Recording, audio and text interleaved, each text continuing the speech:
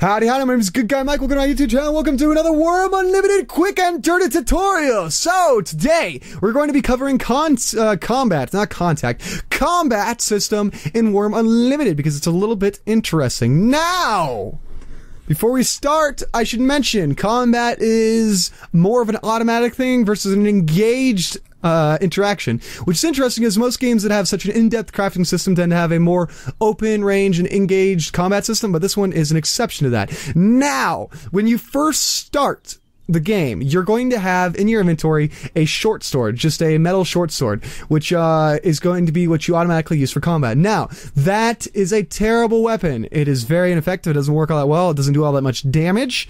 So you're going to want to upgrade past that as quick as possible. You're also not going to want to pick a fight with anything too large before you are high enough level. And that is a very important statement because a lot of things can kick your butt when you're first starting, such as cows Cows can kick your butts. Boars can kick your butts. Rats can kick your butts. You're going to want to practice on things like this chicken here. See this aged rooster? All right. Now, once you get past a certain level, or once you get a uh, certain quality of sword like this, I have this um this iron sword. Your weapons are going to take damage as you're fighting. So this one is a little bit damaged, so I'm just going to go ahead, right click on it, and repair. It's going to go through that, and that's going to repair it. Now you can improve these weapons so they uh, they do more damage. So this is a quality of 6.4, which means it does more damage. They don't have an exactly a direct uh, correlation. I'm sure there's a mathematical formula that you can find out there, but basically, the higher the level with the weapon, so the higher your skill level with that certain weapon and the higher the quality, the more damage you will do. All right. Um, the higher the the weapon um, material, the higher damage you will do as well. So glimmer steel does more damage than iron. Steel does more damage than iron. Um, okay, and you can check your skills in here if you go character.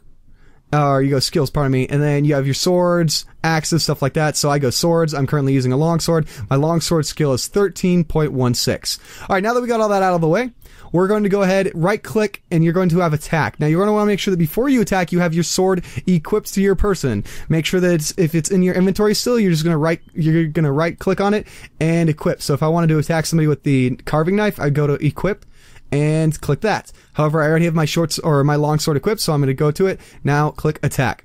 All right. So there are a handful of things that factor into combat. So this spot, this section right here, this one in the middle on the, the middle left shows where you're going to be aiming on the body of the character. So currently I'm aiming for the center of the creature. If I want to aim low, I can aim low by clicking on that. See, so this is basically it lets you choose your direction. If you want to hit somebody, if you want to avoid somebody's shield because they have a shield in their right arm, you can attack left, different things like that. Now the second part is footing.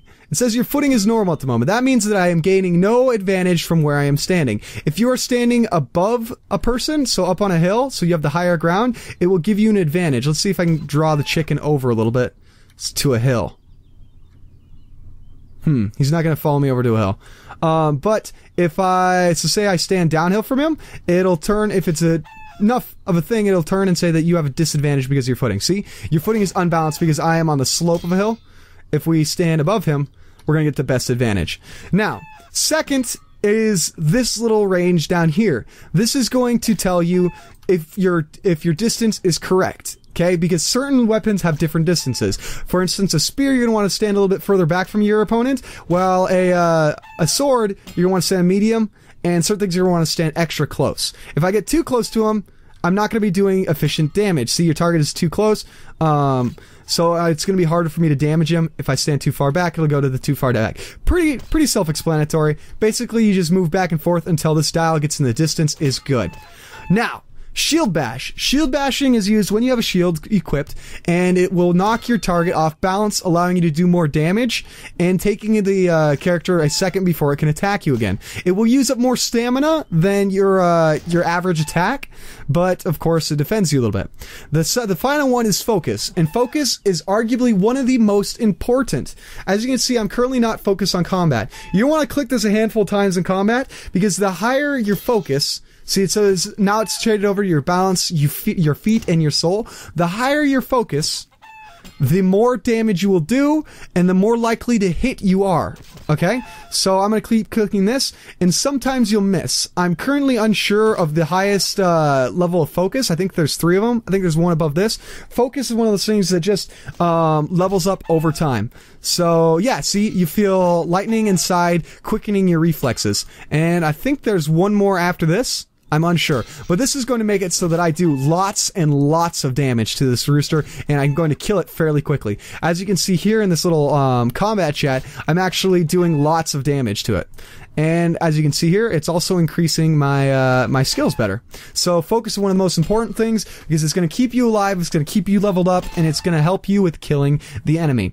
All right, so that is a basic breakdown of combat. Remember, a lot of things. Oh wait, there's one more one more section. Okay, here are your three different fighting options. You can fight aggressive, defensively, and normal. All right, normal is more of a balanced. Uh, defensive, you're going to take less damage you're less likely to take damage. And uh, aggressive, you're l- more likely to do higher damage, but um, take higher damage as well. So it's all a balance.